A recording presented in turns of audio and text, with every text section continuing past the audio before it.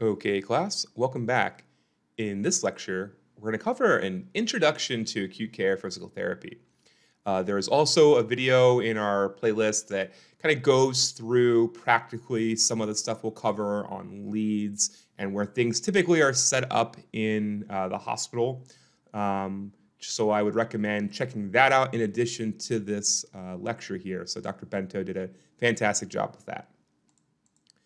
So the objectives for today, um, we're going to cover, you know, what what an acute care physical therapist does, like what do we do, and then we'll go over some basics of clinical reasoning, like when is it safe to mobilize a patient, to get them out of, you know, at them out of bed to perform some activity with us, um, why PT is consulted, kind of what we do throughout that process, and then discharge planning.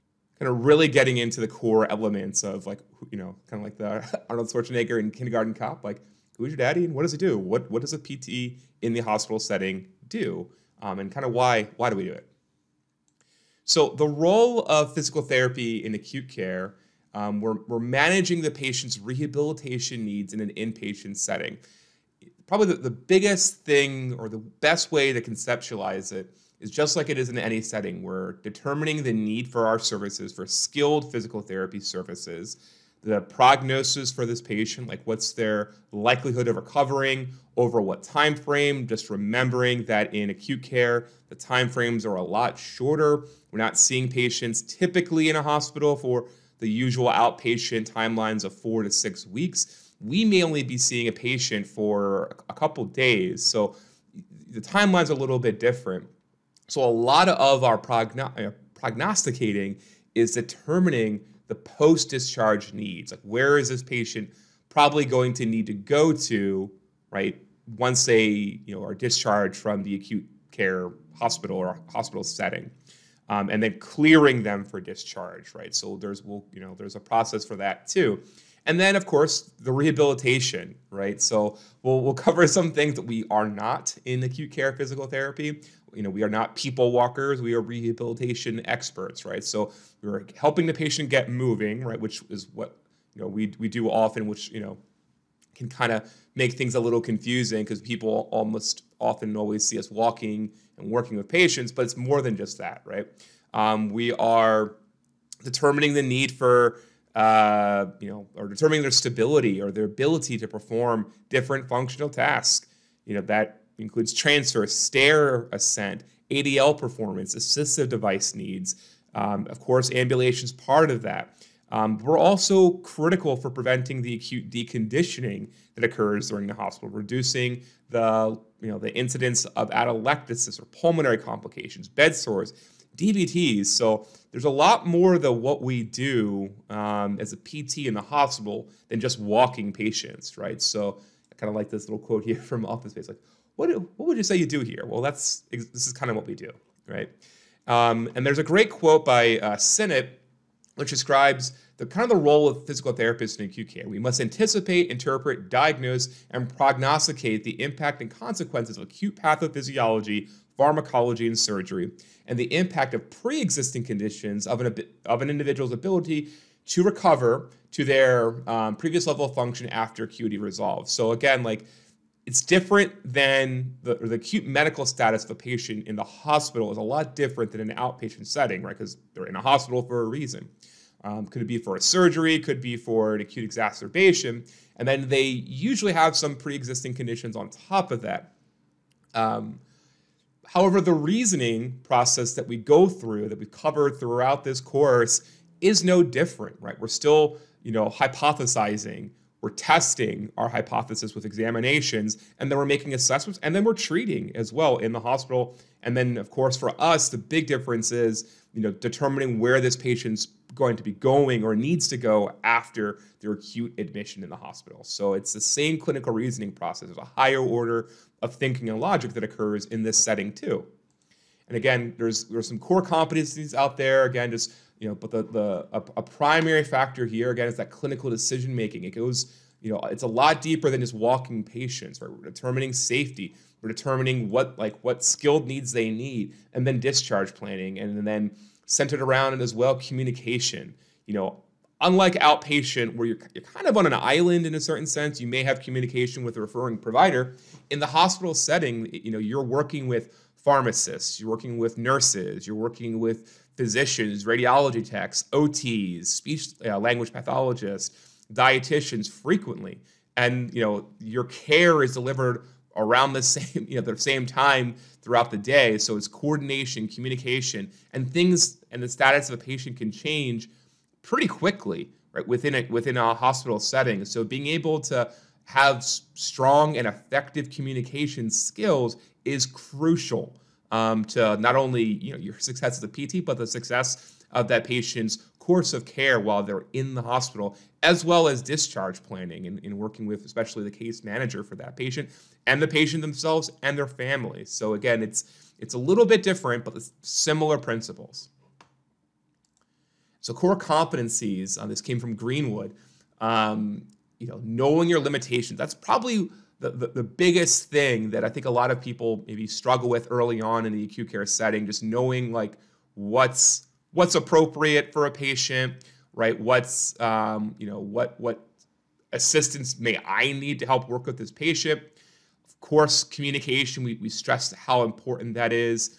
Um, and then you know safety. We talked about that as being a core element going through the chart, understanding the acuity of the situation, the setting of that patient, interpret, interpreting um, information that you're, you're gathering both from your chart review as well as communication with other providers, as well as just your own examination and being able to determine what's the, what's the most likely outcome um, from you know initiating a movement-based intervention um, or assessment for that patient. Like again, these patients, their status can change quickly, right? These aren't people who walked into the you know an outpatient clinic. These are patients in a hospital, in, they're in a hospital for a reason. So just being able to recognize um, these these quick changes, manage the equipment uh, appropriately, um, and then again uh, monitor throughout. And we, again, we cover the you know, patient management, intervention, and then the discharge planning.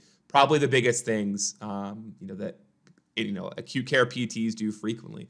And again, the populations that you may treat in the hospital setting, uh, it's pretty diverse, but you know, you know, primarily going to be working with patients post-surgical, either elective, like a bariatric surgery would be an elective surgery, or an emergent surgery. You could think of maybe a CABG or some sort of emergency resection.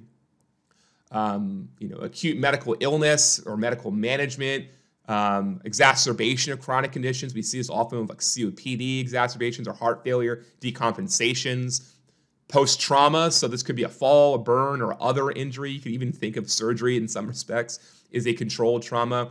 You may work with patients in the intensive care unit. That really is almost beyond entry level skill. And if you talk to most therapists who work in the ICU, um, they, they, would say that's almost beyond entry level because there's the you know patients in the acute care setting already are, are pretty are you know their again their their status can change pretty quickly and their medical complexities pretty complex. The ICU is even a little bit further. We'll touch on this a little bit uh, later on. And then there may be patients who you know, are under observation versus full admission. So some patients may j- just be there to just to see if they're if they're if they need to be admitted or not, um, versus you know, they're going to be they're going to be staying these for maybe for a couple days. So the what you didn't see here, which I hope we, we've kind of stressed, you don't see like a particular type of diagnosis, right? Acute care physical therapy is not cardiopulmonary. It's it's not.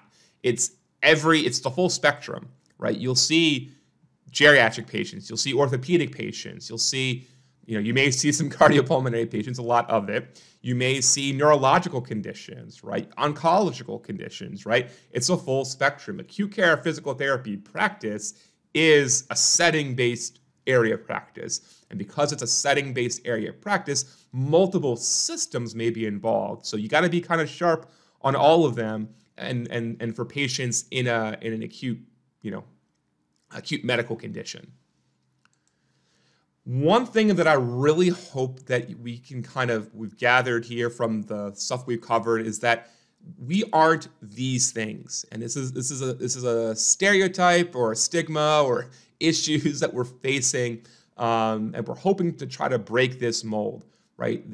I don't want to hear people saying like, "I'm here to walk the patient. I'm here just to get the patient up," you know, or the patient wasn't even walking before. Why did they put orders in? Or obviously, we have to, you know, determine whether our patient's appropriate or not. But this one here, they are blank. That means I don't have to see them. Like working hard to not see people. We aren't people walkers, and there's a lot.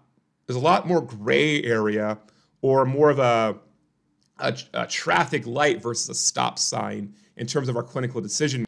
Right? There's a lot more reasoning behind what we do than just isolated bits of information like a patient's oh their hemoglobin's a little low i'm just not going to see this patient um, and for many years like you know this is something that you know our, our approach to managing these patients was a little different than it is now.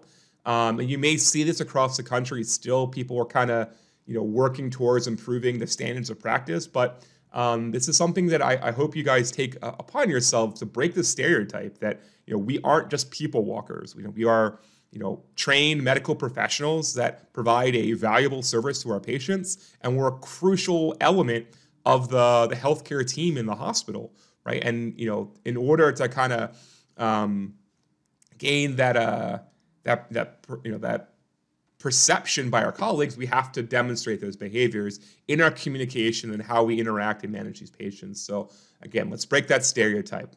Um, let's not let's not result like in a little Yoda here, right? No, no disappointed Yoda. So uh, that's all I have for the intro. Then we'll get into some acute care clinical reasoning and things that you'll go through in this setting. Thank you.